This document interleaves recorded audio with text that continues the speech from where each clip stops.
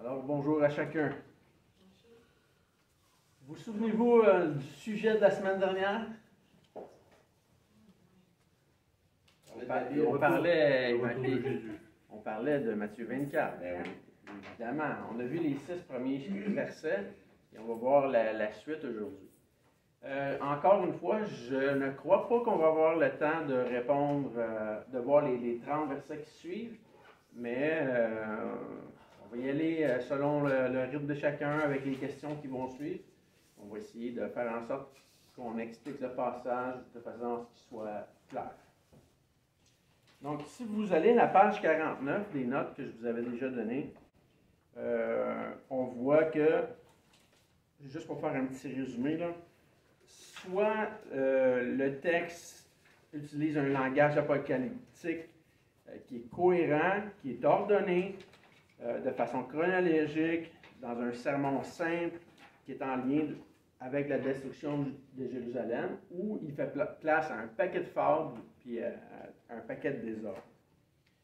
On avait vu euh, que le mot fin, euh, dans la question des apôtres au verset 3, euh, ou des disciples plutôt, ne faisait pas référence à la fin du monde, mais à la fin d'une ère, ok, en vue d'un jugement. On va revoir le mot fin euh, quelques fois, quelques fois. Et euh, le préambule est vraiment sur la question de la destruction de, Jérusalem, selon ce que les apôtres, ou les disciples plutôt, encore une fois, envisageaient comme un règne totalitaire de Christ. Ils pensaient que Christ était pour euh, régner de façon politique, de façon spirituelle, sur l'ensemble des hommes. Chose qui n'arrivera jamais sur cette terre. La foi est toujours volontaire et toutes les promesses sont oui et amen en Jésus-Christ. Il n'y a pas de promesse hors de Jésus-Christ.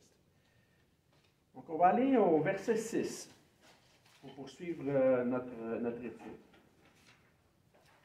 On va juste lire le verset 6. On ne lira pas l'ensemble de tous les versets. On les a déjà lus la semaine dernière. On va essayer juste d'aller dans les commentaires.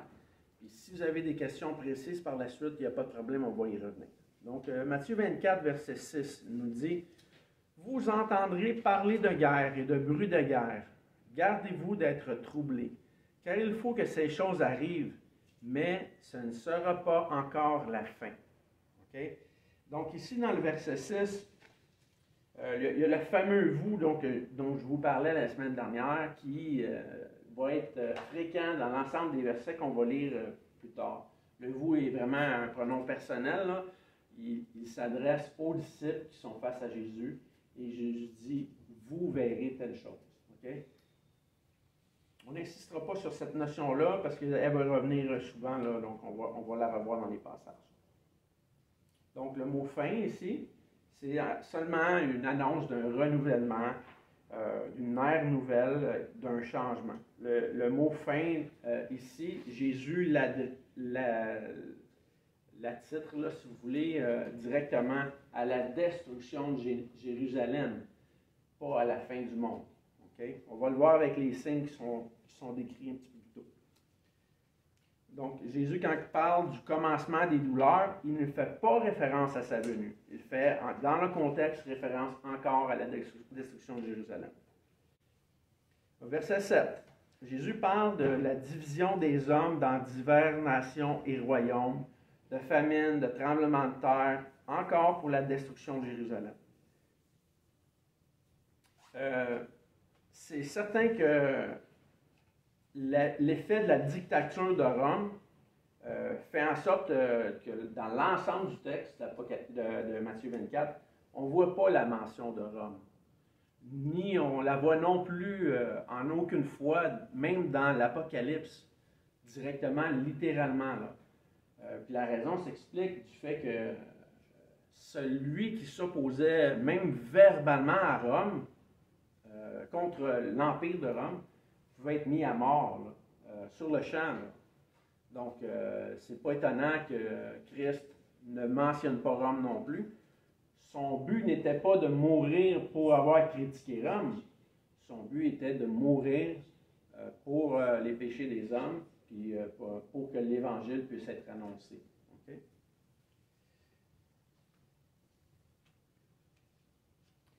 Donc, nulle part dans la Bible, euh, en fait, nulle part ailleurs, la Bible n'énonce qu'il y aura des tremblements de terre littéraux nécessaires dans l'immédiat du retour de Christ. Et si on dit que oui, euh, qu'il y en a, ben, j'aimerais qu'on puisse établir combien. C'est sûr qu'il y a toujours eu des tremblements de terre, OK? Mais ici, euh, Jésus pointe beaucoup plus dans l'ensemble du texte à un bouleversement politique qu'à simplement des phénomènes naturels.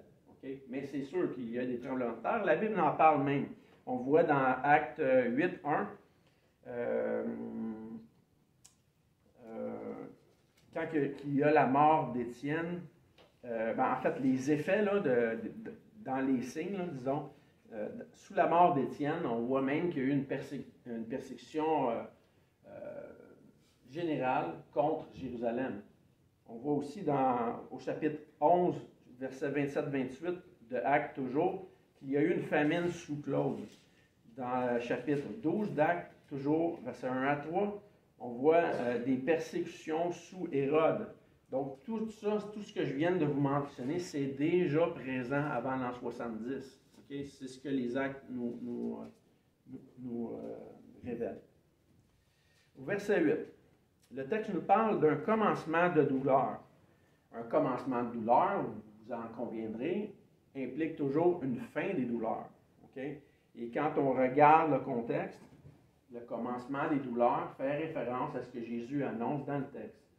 Euh, la destruction de Jérusalem, les signes à venir, à venir dans cette génération, d'ici 40 ans, de ce qu'on va voir un petit peu plus tard, et ce qu'on a déjà mentionné la semaine précédente. Donc, toujours garder le passage dans son contexte. Euh, en fait, ce n'est pas le fait qu'il y ait euh, des douleurs qui est extraordinaire dans le texte. c'est le l'ampleur des douleurs. Euh, Jésus va mentionner qu'il n'y aura pas de douleur euh, semblable euh, dans le futur à celle-ci. Puis des douleurs, il n'y a pas eu de douleur non plus semblable dans le passé. Donc l'ampleur des douleurs mentionnées par Jésus est vraiment exceptionnelle. Au verset 9, ça dit, alors on vous livrera au tourment, on vous fera mourir et vous serez haïs de toutes les nations à cause de mon nom. Encore le vous. Il s'adresse directement encore aux apôtres. Il faut faire attention de ne pas prendre ces passages-là et les appliquer directement au retour de Christ. Ce n'est pas ce que Jésus est en train de parler ici. Si on veut bien comprendre le texte, il faut garder l'ensemble du passage euh, sous le, même sujet que Jésus énonce. Verset 10. Jésus dit qu'il y aura plusieurs euh, non-croyants qui mourront sans la foi. Euh, en fait, euh, il dit plusieurs succomberont, ils se trahiront, ils se haïront les uns les autres. Évidemment, il ne parle pas des apôtres qui vont se, se, trahir, il parle du monde qui est incrédule. Verset 11, il dit qu'il y aura plusieurs faux prophètes, des imposteurs de toutes sortes qui viennent pour séduire ces hommes-là seront suivis par un grand nombre. Euh, ils vont être défendus aussi euh, euh, pour leurs mensonges, crus par un grand nombre de personnes qui sont ignorent, qui ne connaissent pas la vérité ou qui ne veillent pas pour connaître la vérité. Jésus avait dit, l'iniquité sera accrue, l'amour du plus grand nombre se refroidira. Au verset 13, il y a une mention euh, intéressante. Euh, encore une fois, que nous devons garder dans le contexte. Jésus dit, celui qui persévère, jusqu'à la fin sera sauvé. Plusieurs pensent ici que le mot sauvé fait référence au salut. Ça n'a aucun sens. Aucun sens. Imaginez-vous quelqu'un qui persévérait jusqu'à la fin, puis finalement il serait sauvé sans même la foi. Donc ici, faire euh, persévérer jusqu'à la fin fait référence à persévérer dans l'épreuve, dans la persécution, pour être sauvé de cette persécution-là, pas être sauvé euh, sur la question du salut. OK? Donc, euh, encore là, en, déformant le passage, on peut lui faire dire n'importe quoi. Donc, c'est encore une mise en garde qui dans l'ordre de, ce que Jésus vient d'annoncer. Celui qui persévérera jusqu'à la fin sera sauvé. Persévérer de cette persécution-là. J'ai entendu toutes sortes de, commentaires à l'époque euh, dans les, églises de nos frères charismatiques, euh, des, raisonnements qui ne tenaient pas la route. Donc, il faut, garder euh, le passage dans, son concept, dans son contexte. Il y a une seule façon d'être sauvé par, par, le moyen de la foi. OK? Donc, ici, être sauvé fait référence à être sauvé de la persécution. OK? Ça va pour tout, pour tout le monde pour ce point-là? Excellent. Excellent. Good. On continue. On est rendu au verset euh, 13. Euh, est-ce que j'ai sauté? Euh, 14. Excusez, j'essaie de suivre avec mes notes en même temps. OK. Je veux juste appuyer mon point, euh, verset 13. OK? On va aller lire le Romains 10, verset 16. 16 à 21. Parce que plusieurs euh, euh, tordent justement le, sens global du passage. Et là, on arrive à vraiment des, des problématiques insoutenables qu'on doit défendre par la suite. Donc, on va aller voir Romains 10, 16. On va voir un petit peu même un préambule de d'autres versets qu'on va lire plus tard. Je vais demander à Eric, s'il te plaît, de me lire du, verset 16 à 21. Mais, mais, nous ne, mais tous n'ont pas oublié à la bonne nouvelle. Aussi, Zéhi dit-il, Seigneur, qui a cru à notre prédication? Ainsi, la foi vient de ce qu'on entend. Ce qu'on entend vient de la parole de Dieu. Mais dit, n'ont-ils pas entendu? Au contraire, leur voix est allée par toute la terre et leur, et euh, leur parole jusqu'aux extrémités du monde. Mais je dis, Israël ne l'a-t-il pas su?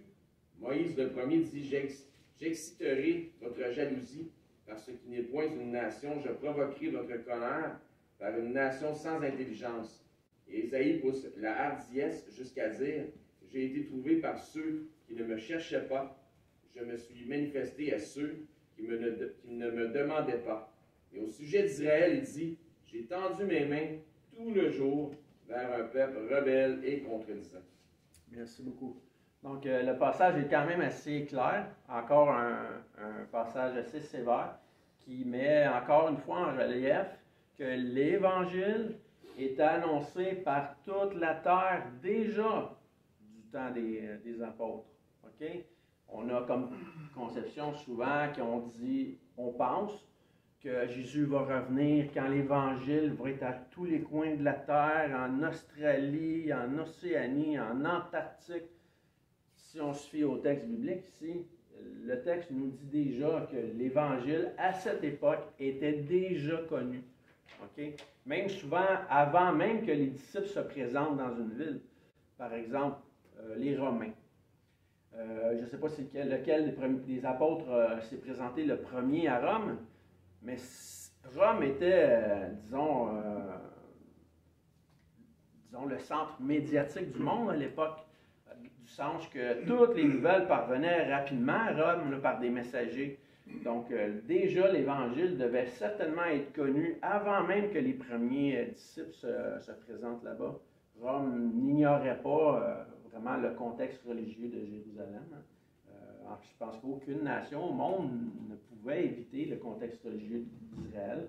Tout le monde savait euh, quelle, était la particularité de la foi de ce pays-là, euh, avec leur Dieu unique, qui n'était pas un peuple, disons, qui adorait plusieurs dieux.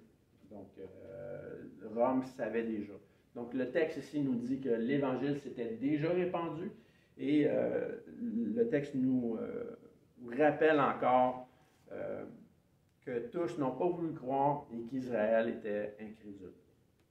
OK? On va aller voir maintenant au verset 14. en fait, le verset 14 résume un peu ce qu'on vient de mentionner, que cette bonne nouvelle du royaume sera prêchée dans le monde entier pour servir de témoignage à toutes les nations. Alors viendra la fin. Donc la fin, ici encore, fait référence au jugement sur Israël. Sur la destruction du temple, même sur la, première question qu'on a vue des disciples. Verset 15. Verset 15 est vraiment plus, euh, disons, technique, parce que ça nous parle euh, euh, de l'abomination de la désolation. ce, terme-là, en fait, est, déjà mentionné trois fois dans le livre de Daniel, entre autres au chapitre 9, et fait référence à un, événement historique qui est déjà arrivé 200 ans avant même ce que Jésus est en train de dénoncer. il y avait disons, après Alexandre le Grand, euh, il y avait euh, Antiochus Épiphane qui, euh, je ne sais pas si vous connaissez un petit peu les frères Maccabées, pour ceux qui ont peut-être lu dans les livres apocryphes les Maccabées, c'était des frères qui se sont objectés à Rome en faisant une révolte. Et euh, quand Rome a commencé à gagner euh, la bataille, bien, éventuellement, ils sont entrés dans le temple. L'empereur euh, ou un des grands généraux de l'époque avait été entré dans le temple en sacrifiant un cochon, et en, même en érigeant une statue d'un dieu étranger. Donc pour les Juifs, c'était vraiment une abomination incroyable. Donc, c'est ce que Jésus est en train de faire référence ici à, l'abomination de la désolation. Par contre, quand Jésus en, parle, il ne dit pas, euh, en faisant référence à la destruction de Jérusalem qui vient, il ne fait pas référence à l'événement historique déjà connu. Il fait référence à une autre abomination qui vient, qui, est similaire un petit peu. Et euh, si on étudie un petit peu euh, l'histoire, entre autres Flavius Joseph, on sait que quand la destruction de Jérusalem a lieu euh, avant 70, là, euh, quand les guerres ont lieu, euh, la révolte a duré à peu près trois ans et demi, il y avait Titus qui était un général de l'empereur, j'oublie le nom, je vais y revenir, Domitien, excusez-moi. Euh, donc, Titus était général, il est rentré dans le temple, euh, en fait, il a brûlé le temple, par on dit, euh, selon les historiens, il y aurait eu, disons, une erreur, une flèche enflammée tirée dans une mauvaise direction qui aurait atteint les rideaux du temple et qui aurait mis le feu un petit peu partout. Donc, euh, c'est à cet événement-là que fait référence Jésus. Il ne fait pas référence à ce qui est déjà accompli 200 euh, ans avant. Il fait référence à une autre euh, désolation de l'abomination qui vient, donc qui pointe à la destruction de Jérusalem. On va lire le, texte. Verset 15. C'est pourquoi, lorsque vous verrez l'abomination de la désolation dont a parlé le prophète Daniel établi en, en lieu saint, que celui qui lit fasse attention. Donc, euh, il fait référence vraiment à un événement à venir dont a parlé Daniel, mais euh, quelque chose de similaire souvent. Et euh, dans le verset 15, on voit la note aussi que celui qui lise fasse attention. vous vous souvenez quand on avait parlé de l'inspiration des Écritures? Ici, euh, c'est impossible que ce soit Jésus qui dise que celui qui lise fasse attention. Il est en train de parler. Pourquoi il aurait dit que celui qui lise fasse attention?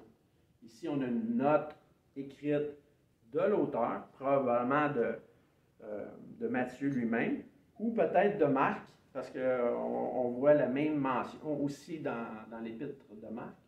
Euh, donc, c'est vraiment une note au lecteur de faire particulièrement attention à ce que Jésus vient de dire.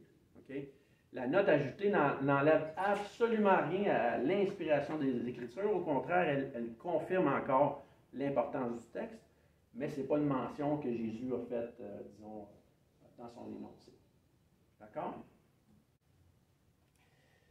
Euh, je prends le temps de, mentionner même cette note-là euh, pour éviter toute ambiguïté.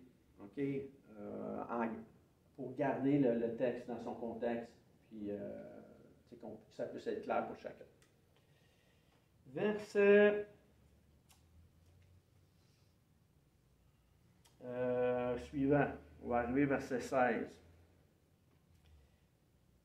je vais juste revenir un petit peu sur le verset 14. On a parlé tantôt que l'évangile devait être prêché partout dans le monde. Si la fin de ce que Jésus annonçait était celle de la fin de notre monde aujourd'hui par le retour de Christ, alors où serait le témoignage que Jésus parle par rapport à la destruction de Jérusalem? Verset 14 nous disait, cette bonne nouvelle du royaume sera prêchée dans le monde entier pour servir de témoignage à toutes les nations. Donc, si c'est vraiment le témoignage fait référence à quelque chose d'imminent avant le retour de Christ et non la destruction de Jérusalem, pourquoi Jésus mentionne ça? Le témoignage ici fait vraiment référence à l'évangile qui devait être euh, connu dans tout le monde euh, de l'époque euh, au travers les Romains, les Syriens, et non pas spécifiquement à des, des Amérindiens d'Amérique ou des Incas. Donc, Jésus avait comme contexte en, en pensée le contexte général politique et, militaire de son époque. Oui, Franck? Oui. Vous avez dit tout à l'heure que euh, même euh, pour un temps reculé chez les Romains, l'évangile était déjà là, était déjà là. Et euh, donc je voulais revenir aussi à deux éléments qui sont fort importants pour moi dans la tête. Lorsque vous parlez d'Israël et Jérusalem sont pour moi, jusqu'ici, ce sont des symboles, en tout cas, qui n'est pas relié à un élément important, mais il y a un lien avec cette, euh, euh, le verset 14 que je lis. Cette bonne nouvelle du royaume sera. C'est sera prêché, comment on peut l'intégrer comme étant un élément qui a déjà été? Ben, En fait, très très simple c'est que la mission euh, de Matthieu 28 n'est pas encore annoncée. On est au chapitre 24 ici. Donc, c'est normal que Jésus dit qu'elle sera annoncée, puisque les disciples sont même pas encore, ils n'ont même pas encore quitté. Euh, donc, les disciples ont fait le travail, comme on a lu tout à l'heure dans le passage de Romains. Ils ont annoncé l'Évangile, ils ont euh, euh, témoigner de Christ, même par leur vie, parce qu'ils sont morts persécutés, ils sont morts torturés. Donc, euh, quand Jésus dit Elle sera, euh, il fait référence à un time-lapse, un, temps défini. Et évidemment, les apôtres n'ont pas annoncé l'Évangile vers l'an 200 ou vers l'an 300, et en fait, les apôtres, ils étaient déjà décédés. Donc, ils ont accompli ce que la mission que Jésus leur avait confiée déjà en Matthieu 28 dans les euh, décennies subséquentes, jusqu'à eux-mêmes mourir pour leur foi. Donc, on a lu euh, tout à l'heure dans Romains que c'est déjà accompli, l'Évangile est déjà répandu, elle, était déjà répandue à l'époque euh, des, Romains. Personne, en fait, on a vu dans la révélation générale, dans les cours précédents, que personne ne peut dire qu'il ne connaît pas l'Évangile. Dieu parle de plusieurs façons. Euh, entre autres dans notre conscience, par l'histoire, par l'archéologie, euh, par le bien et le mal. Donc, euh, tous ont une notion de qui est Dieu, là, selon ce qu'on peut lire dans Romains 1. Donc, votre question est très pertinente, mais l'Évangile était déjà connu. Ça va pour, pour ça? Oui. si je peux partager, moi, ce qui m'a aidé, je pense que je te l'avais partagé, ce qui m'a aidé à à, comprendre que tout ça peut s'être passé comme Jésus l'annonce, c'est quand j'ai pris un peu de recul, puis j'ai tenu compte que de quand il parle jusqu'à ce que ce soit produit, il s'est écoulé à peu près une quarantaine d'années. Donc, ça, ça fit après. Il y a du temps pour que tout ça se déroule. Parce que quand je lis, c'est très linéaire, c'est comme ça, ça succède. Tandis que si je recule et je tient compte du contexte historique et, euh, le temps, mais dans un 40 ans, il peut se passer toutes ces choses-là. Moi, ça m'a aidé, pour ça. beaucoup.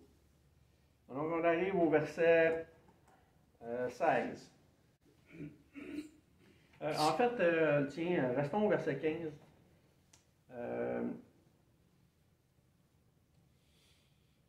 1 Jean 2,8 nous dit Petits enfants, c'est la dernière heure, et comme vous avez appris qu'un antéchrist vient, en fait, le, réel mot devrait être antichrist, parce qu'il n'y a personne qui est avant Christ, là, euh, donc c'est euh, un antichrist vient. Euh, il y a maintenant plusieurs antichrists. Par là, nous connaissons que c'est la dernière heure.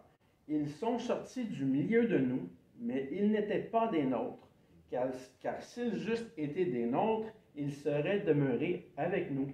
Mais cela est arrivé afin qu'il fût manifeste que tous ne sont pas des nôtres. Donc ici, Jean parle d'un antichrist qui vient. ok? Euh, de son temps, il anticipait un antichrist parmi tant d'autres, parce que le texte nous mentionne que même des antichrists qui sortent de l'Église euh, je ne l'invente pas, là. C'est Jean qui le dit. Il y a des incroyants même dans l'Église. Ceci confirme aussi ce que Jésus disait quand il parlait du blé et de l'ivraie. Donc, euh, ce n'est pas tous ceux qui prétendent avoir la foi qui ont la foi euh, de l'Évangile ou, de la doctrine que nous retrouvons dans la Bible. Donc, un antichrist était annoncé, un antichrist particulier parmi tant d'autres. Et c'est, si on, est, on se met à étudier un petit peu plus l'Apocalypse, avec le fameux passage euh, du chapitre 15 que je vous ai mentionné souvent, on va voir que même l'Antichrist, dans le passage, est déjà arrivé. Ça ne veut pas dire qu'il n'y aura pas d'autres antichrists. Jean mentionne qu'il y en a plusieurs. Je crois qu'il y en a eu des millions et des millions d'antichrists depuis euh, que Christ est mort. Des gens qui sont contre Christ. OK? Mais ici, euh, le texte nous pointait vraiment à quelque chose de, particulier. Un, euh, disons, plus abominable que les autres. Il faut, pour regarder vraiment qui est cet antichrist-là, il faut vraiment garder chaque texte dans son contexte. OK? Et que le mot contexte, je l'aime. OK. allons voir.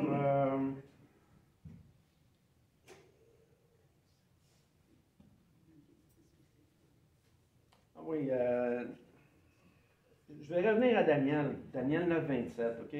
Euh, parce que si vous allez lire le texte, parce que j'ai mis des notes, si vous allez lire le texte un petit peu à la, maison, euh, Daniel fait référence à 70 semaines, qui sont en fait 490 ans. Il fait référence aussi à, à 7 ans. Donc, je vous inviterai à être prudent en lisant ces textes-là euh, vraiment, euh, Jésus euh, fait référence à Daniel pour nous indiquer que la période qu'il énonce par rapport à la destruction de Jérusalem sont l'accomplissement de ce que Daniel énonce. Donc, ce n'est pas une période qui nous est encore postérieure, qui doit venir, disons, ultérieurement. Les contextes nous pointent à des événements déjà accomplis. Ça serait trop facile de de tomber dans des fables en déformant les passages, puis là, finalement, d'arriver à des scénarios qui n'ont plus aucun sens. Je vous l'ai mentionné tantôt, soit le texte est cohérent, clair, précis, euh, chronologique, ou soit on oublie tout ça, puis on fait dire euh, n'importe quoi au texte. D'accord? OK. Même la, question de la bête qu'on retrouve dans l'Apocalypse faut garder cette mention-là dans son contexte. Euh, on va aller euh, verset 16. Euh, on va lire le passage. Ça dit Alors que ceux qui seront en Judée fuient dans les montagnes. Pourquoi Jésus dirait ça Parce que vous avez vu, on voyait la mention vous partout. Là. Vous ferez ci, vous ferez ça. Pourquoi Jésus leur dirait de fuir dans les montagnes quand ils verraient ça, selon vous? C'est une mise en garde. Premièrement, hein, on le sait que c'est une mise en garde. Oui, frère. Pour la protection. Pour la protection, exactement. Donc, est-ce que, si c'est futuriste, est-ce que nous, les chrétiens, on doit fuir dans la montagne de Judée? Il faut garder le passage dans son contexte. est assez loin. Hein? Surtout en ce moment, là, euh, pour ceux qui, euh, qui n'ont pas euh, adhéré, disons, au vaccin, ça serait comme assez impossible d'aller prendre l'avion pour aller en Judée. Ça serait même. on ne pourrait pas accomplir ce que Jésus dit. Donc, toujours le contexte. Verset 18. Que celui qui sera dans les champs ne retourne pas en arrière pour prendre son manteau. Pourquoi encore cette mention-ci? Pourquoi Jésus dit ça aux disciples? Le même principe, encore une mise en garde. Le manteau, euh, en fait, c'était quelque chose qui gardait au chaud, euh, qui protégeait du, chaud, euh, de la chaleur ou du froid. celui qui travaillait au champ mettait son vêtement de côté pour travailler. Quand elle terminait ou quand la température changeait, il, mettait, il le mettait.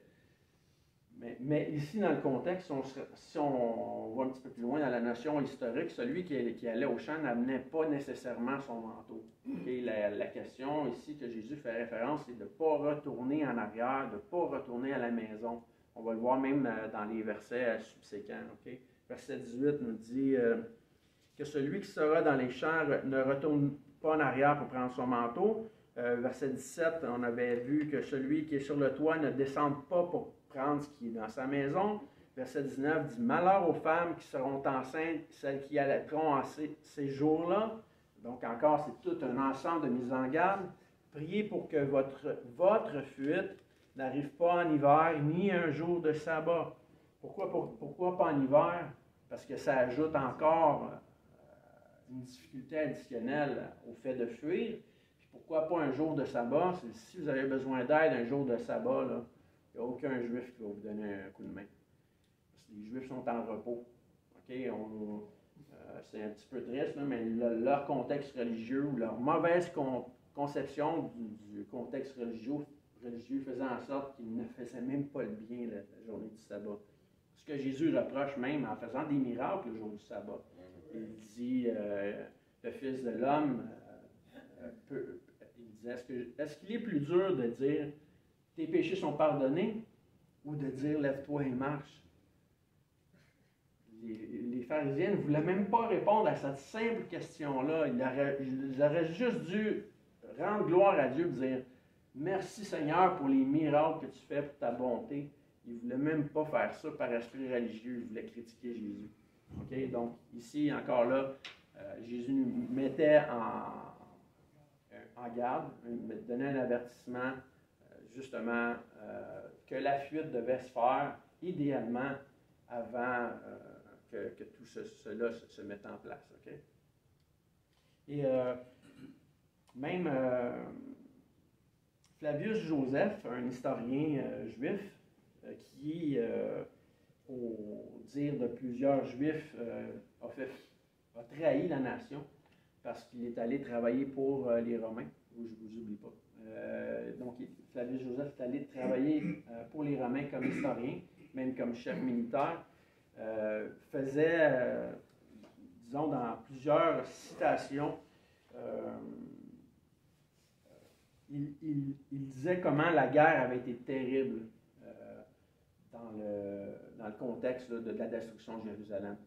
On apprend dans ses écrits qu'une femme au plus fort de, la famine et de la guerre, euh, disons, qui était poussée par les Romains, euh, qu'alors qu'elle était confinée dans le temple, pas dans le temple, excusez, dans la ville, privée de, nourriture, euh, vraiment en famine depuis des mois, elle a pris son nourrisson et elle l'a tué pour pouvoir le manger. on ne retrouve même pas un geste aussi abominable dans l'Ancien Testament et moi, je, n'ai pas entendu de gestes similaires, disons, dans la suite des temps. Mais pour les Juifs, c'était vraiment la pire chose qui pouvait arriver à l'époque. La dame a même tué son propre bébé euh, pour pouvoir le manger. Euh, donc, euh, la, guerre ou la persécution qui a eu lieu par rapport à Rome était vraiment terrible et, inégalée. je vais faire une petite parenthèse, juste, pour vous dire comment c'était vraiment abominable. Vous savez que dans le temple, il y avait des grandes richesses. Il y avait de l'or, il y avait des pierres précieuses. Il y avait, disons, l'éphode qui était sur le, portail, poitrail, disons, du grand prêtre, qui, avait, comptait 12 pierres précieuses. Et les Romains n'étaient pas plus, euh, disons, euh, ils étaient eux aussi sous restriction alimentaire. Euh, ils n'avaient pas, les soldats n'avaient pas de grande richesse. Hein, ils étaient pratiquement laissés au minimum des soins de Rome. Et le bruit a commencé à courir à un moment donné que ceux qui cherchaient à s'échapper de la ville, certains passaient par-dessus les murailles, les grosses murailles élevées, se jetaient en bas pour essayer d'aller chercher un peu de nourriture pour revenir nourrir leur famille. Et le bruit a commencé à courir parmi les Romains que les gens fuyaient pour quitter avec les richesses du temple.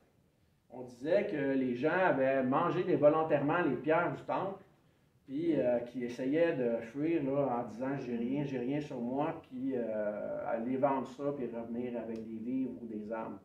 Donc les, les Romains, comme ils étaient eux-mêmes euh, affamés, les soldats romains, à chaque fois qu'ils voyaient quelqu'un passer par-dessus les murailles, ils l'éventraient vivant. Ils fouillaient dans les entrailles pour aller voir s'il n'y avait pas des pierres précieuses. C'était vraiment un temps abominable, je vous le dis, si vous lisez les écrits historiques, ça, ça, en fait tomber les cheveux. Euh, donc, euh, Jésus ne met pas en garde inutilement dans l'ensemble euh, du passage pour juste soulever des fables. Ce qu'il dit, c'est accompli. Et c'était vraiment terrible ce qui pouvait arriver. On va aller maintenant au verset 18. Euh, excusez, verset 21. Car alors la détresse sera si grande qu'il n'y en a point eu de pareil depuis le commencement du monde jusqu'à présent et qu'il n'y en aura jamais. Donc c'est ce que je vous mentionnais tantôt. Donc Jésus le, mentionne ici euh, que cet événement-là à venir va être terrible. Même, même la guerre, la deuxième guerre mondiale, n'a pas été un événement aussi terrible que la destruction de Jérusalem, ni même, euh, disons, les persécutions sous Gengis Khan. Si vous lisez un petit peu euh, l'histoire, euh, disons, plus du côté de l'Asie, vers la Chine et autres. Verset 22. Et si ces jours n'étaient abrégés, personne ne serait sauvé. Mais à cause des élus, ces jours seront abrégés. Encore le contexte fait référence à la destruction de Jérusalem. Il ne faut pas mêler tout ça et mettre ça dans une, dans une notion futuriste. Le contexte nous pointe vraiment à la destruction de Jérusalem. Donc, euh, euh, est-ce qu'il y a des similitudes à faire avec ce qu'on vit aujourd'hui? Absolument. Ok, Il y a eu des persécutions à l'époque. Il y en a encore aujourd'hui. On voit des chrétiens mourir au travers de la planète des, gens en Inde, des gens en Chine, des, gens dans les pays euh, euh, islamiques. Euh, donc, il, y a encore des persécutions. Jésus avait, en fait, Paul mentionne même que celui qui veut vivre pieusement en Jésus-Christ sera persécuté. Ça, c'est un fait général, là. C'est pas quelque chose qui va arrêter. Mais le contexte ici nous parlait vraiment de de ce que Jésus annonçait par rapport à la destruction de Jérusalem. Oui? On va continuer un petit cinq minutes. Puis, euh, parce qu'Éric m'a dit que j'avais cinq minutes de plus. Yes. par la suite. Euh, questions. Oui, c'est ça, on va aller aux questions. Puis la semaine prochaine, on gardera, euh, disons, la, suite, la suite du passage jusqu'au verset 36. On va arrêter au verset 28.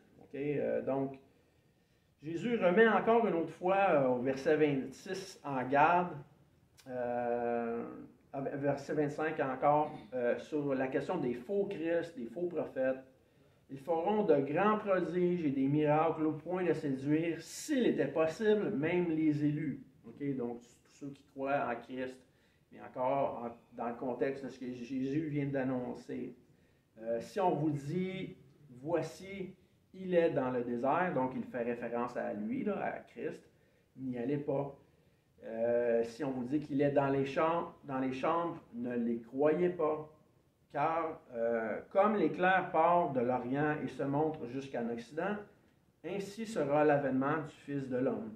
L'avènement du Fils de l'homme, ici, fait encore référence la destruction de Jérusalem. On arrive avec des préconceptions souvent, puis on dit Ok, ok, ok, c'est le retour de Christ, c'est la fin des temps. Jésus ne nous change pas de sujet ici, il nous garde encore la, même, euh, la même dynamique, le même langage. Est-ce que le déluge Snoé n'a pas été un signe de Dieu? Absolument. Est-ce que le, les différents exodes euh, de, disons, sous Nebuchadnezzar, est-ce que ça n'a pas été un signe de Dieu?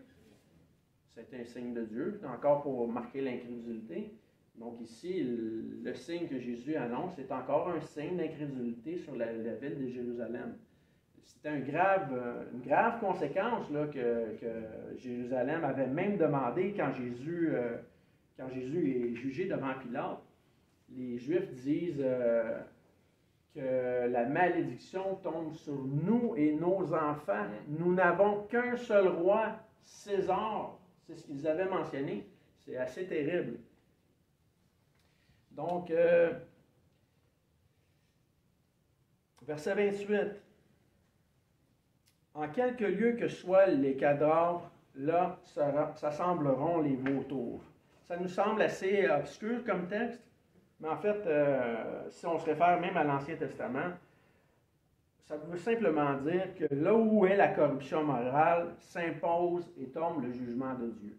Pourquoi Jésus commencerait tout un, tout d'un coup à parler euh, des, euh, des, vautours ou des aigles, selon les versions? Là?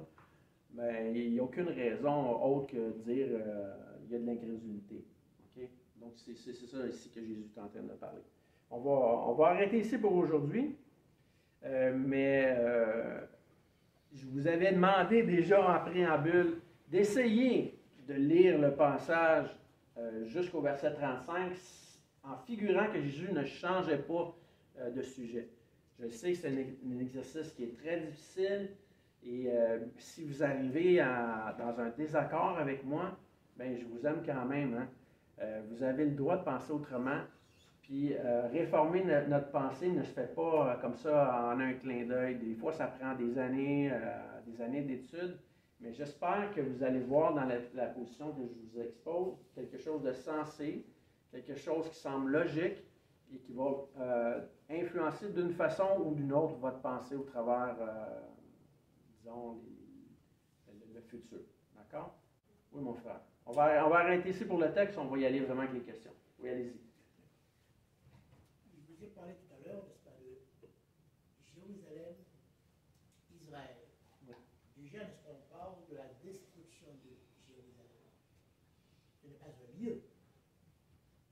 Euh, moi, je crois que c'est un lieu. C'est un lieu physique. Selon ce que Jésus parle, il parle du temple. Le temple est physique. Donc, c'est littéral. C'est pas symbolique, là. Il ne fait pas référence nécessairement à quelque chose de symbolique. Et certaines personnes, euh, je, vais aller plus loin même que votre question, il y a des, certaines personnes qui pensent que l'Évangile va tellement progresser qu'un jour tout le monde va être chrétien. C'est pas ce que, pas ce que la Bible nous enseigne dans l'ensemble euh, des Écritures. Euh, Christ ne règne pas sur des, des peuples qui cherchent à faire ce qui leur convient. Il règne chez les gens qui font abstinence ou qui reconnaissent leurs fautes, euh, qui s'humilient, qui se repentent et qui le font roi. Donc, euh, la question de Jérusalem, est-ce qu'elle est physique? Euh, moi, je crois absolument que oui. Jésus parle vraiment d'un lieu. Et même l'ensemble des, textes nous parlent d'une Jérusalem qui est physique. Et nous parle aussi d'une Jérusalem céleste. Euh, la, Jérusalem qui est celle qui va, euh, disons, après la destruction, de la, destruction de la terre par le feu, parce que Dieu a dit qu'il ne détruirait plus la terre par l'eau, il va la détruire éventuellement par le feu, en signe de jugement. Donc la Jérusalem céleste qui est annoncée est celle qui descend du ciel, qui va venir s'établir sur la terre, qui va réunir les hommes et les anges pour euh, tous ceux qui adorent Dieu. Okay? Euh, de Dieu. Oui, Israël de Dieu fait référence aux chrétiens. On peut voir ça dans Romains 3. Ça dit que le, juif est celui qui est circoncis de cœur, pas celui qui est circoncis selon la chair. Donc c'est toujours la foi. Euh, même avant Abraham, la, Bible nous dit dans, dans Genèse 15.6 euh, que Abraham crut et cela lui fut imputé à justice. Ben, il y a des hommes qui ont cru avant Abraham et euh, il n'y avait pas la circoncision là, qui était imposée, qui était demandée. Et Jésus ne la demande pas non plus dans le Nouveau Testament. les Juifs, pas les Juifs, mais plusieurs des nouveaux chrétiens à l'époque, au début de, l'histoire de l'Église, ont voulu imposer la, circoncision et c'est même euh, démenti dans l'Épître aux Hébreux, entre autres. Euh, est-ce, qu'il y a quelque chose que je n'ai pas répondu dans votre question? Il y a un élément. Israël? Euh, vous avez parlé d'Abraham aussi, n'est-ce pas, pour, la succession. Est-ce que quelque part dans la Bible, on a fait référence à Akhenaton? je ne suis pas familier avec ce personnage qui a, qui, a, qui a justement été dans l'initiation d'Abraham en Égypte. Euh, parlez-vous de Melchizedek? Non, non, non. non. Okay. Akhenaton, c'était un. Un Égyptien. C'est pas un Égyptien, Akhenaton? Oui, un Égyptien, mais c'est. Regardez ce que je vais vous demander de faire, OK? Mais c'est pas dans la Bible. Euh, non, pas dans la Bible. Si, ça, si Akhenaton est dans la Bible, trouvez-moi la référence si ce n'est pas, dans la Bible, moi je vais aller voir euh, cette semaine pour essayer de trouver des, références. C'est vraiment pas, euh, c'est vraiment pas un personnage que je connais. Donc, euh, au lieu de vous dire n'importe quoi, là, je préfère aller voir, étudier peut-être un peu le sujet puis vous revenir. D'autres questions? Il me semble que tu as, il me semble, hein, je, me trompe peut-être, tu as dit qu'il y a destruction de, de Jérusalem par les Romains, qui a suivi des choses atroces.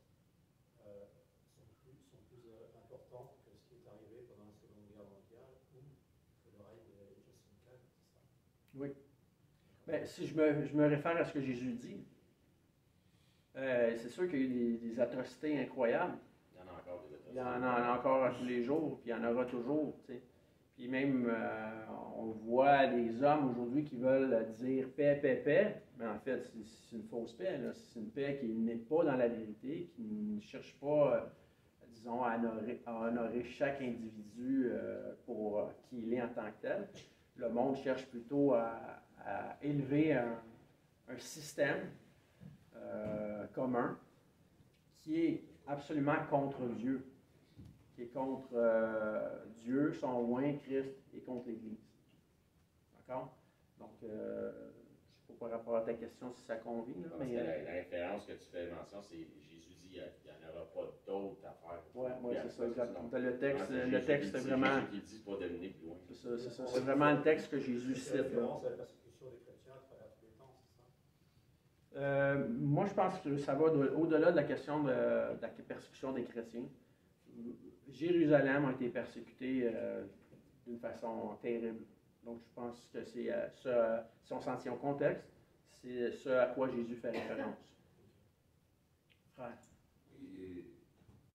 J'ai souvent ça en tête comme question. Lorsqu'on regarde tout ce qui se passe à travers le monde, des affaires, des événements, il y a des gens qui se disent vraiment, on est proche vraiment de la fin des temps. Mais lorsqu'on regarde Matthieu 24, si on parle de 15, verset 15 à, à 19, est-ce que lorsqu'un gars et une femme s'unissent entre eux là, sa coupe, c'est juste pour avoir des enfants? Est-ce que c'est les signes qui vont nous dire, si on regarde aujourd'hui tout ce qui se passe, les gens qui se disent qu'on est proche, c'est quels sont les signes vraiment qui vont nous empêcher, vraiment qui va empêcher à un gars une femme de, faire attention à pas tomber enceinte C'est une excellente question. C'est une excellente question. La question des signes que nous voyons même aujourd'hui. Euh, moi, je pense que le signe suprême, c'est pas la, question de homme et femme, ou même homme avec homme aujourd'hui. La question, c'est vraiment l'incrédulité. Euh, Romain nous dit euh, que les adultères n'entreront pas dans le royaume de Dieu, que les homosexuels, les efféminés, les, les, voleurs et autres. Moi, je vois au-delà même d'un geste physique, je vois une généralité. Les gens sont incrédules. Euh, on a tous été coupables d'un quelconque péché avant de se convertir. Euh, et aujourd'hui, on lutte contre euh, notre nature, on lutte contre nos fautes, on, se repent, on, revient à Dieu. Mais le monde aujourd'hui ne fait pas ça. Le monde se vante pratiquement de, leur, leur, poursuivent leur vie hors du mariage, dans un concubinage, sans jamais se marier. Et même s'ils sont dans le concubinage, ils n'honorent même pas souvent la, fidélité, euh, non seulement euh, physique, là, de, demeurer avec un seul partenaire, mais la question de vouloir euh, être intègre, de vouloir rechercher tout ce qui est bien.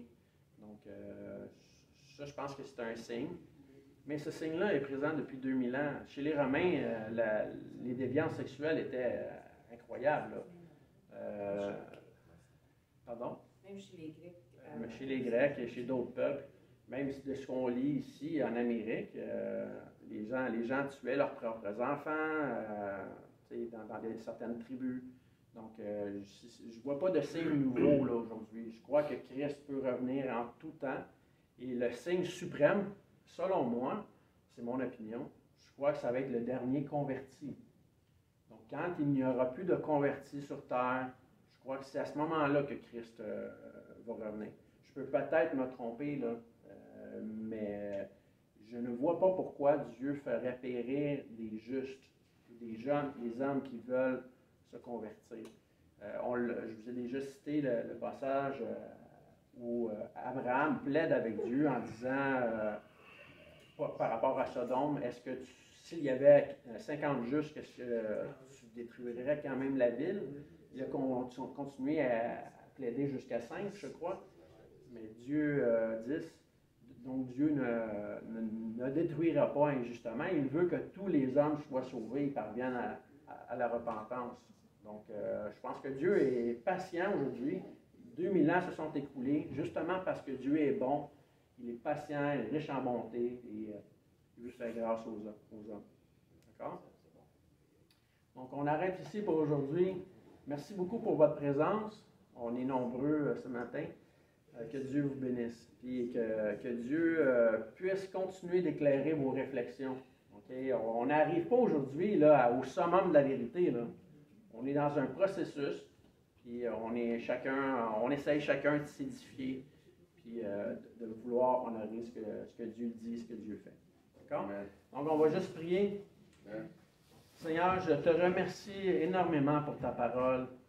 Euh, quand je me suis converti au début de ma foi, il y a plus de 30 ans, j'avais euh, premièrement un rythme de vie qui était, qui était loin d'être celui que tu honores, Seigneur, celui que tu recommandes.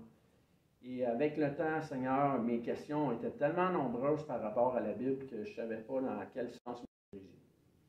Mais euh, avec la bonne volonté, Seigneur, en étant modéré, en voulant euh, t'honorer toi, en voulant comprendre ce que tu nous dis, euh, tu éclaircis, Seigneur, et tu fais de nous des, des, personnes qui veulent marcher selon les fruits de l'Esprit. Parce que souvent, plusieurs oublient dans la chrétienté, euh, euh, selon le passage de Galates 5, 22, euh, que les fruits de l'esprit sont importants. Et Seigneur, aide-nous à ne pas faire passer nos préconceptions ou même l'eschatologie avant ces signes-là, Seigneur. Fait qu'on puisse s'aimer dans la vérité, qu'on puisse croire en toi, Seigneur, et te rendre gloire en toi. Merci pour ta parole encore. Merci pour les gens qui sont ici, Seigneur. Pour les, hommes et les femmes qui veulent être des dons pour toi. On te demande chacun des honorer et euh, qu'on puisse rendre gloire à Jésus-Christ, Seigneur. Au nom de ton Fils, je te prie. Amen.